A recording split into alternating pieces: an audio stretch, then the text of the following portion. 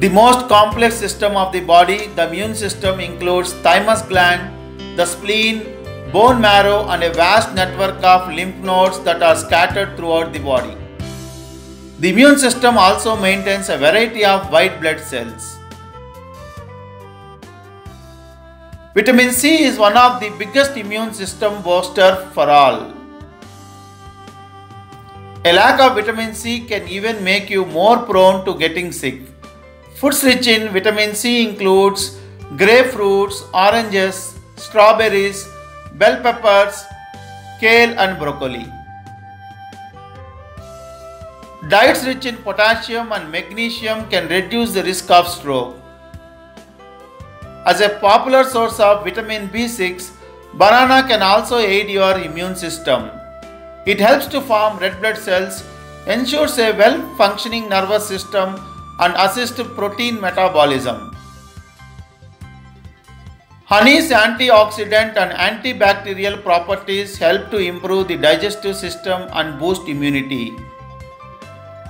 It is also a powerhouse of antioxidants which are effective for the removal of free radicals from the body.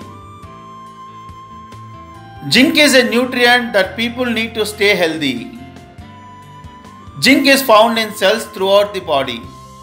It helps the immune system fight off invading bacteria and viruses. The body also needs zinc to make protein and DNA, the genetic material in all cells. Vitamin C is one of the most popular nutrients taken in supplement form and for good reason.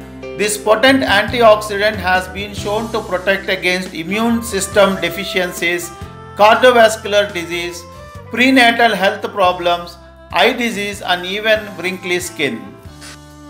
100% orange juice and oranges provide a good source of potassium for a healthy blood pressure folic acid and an excellent source of antioxidant vitamin C, which has been shown to help support a healthy immune system.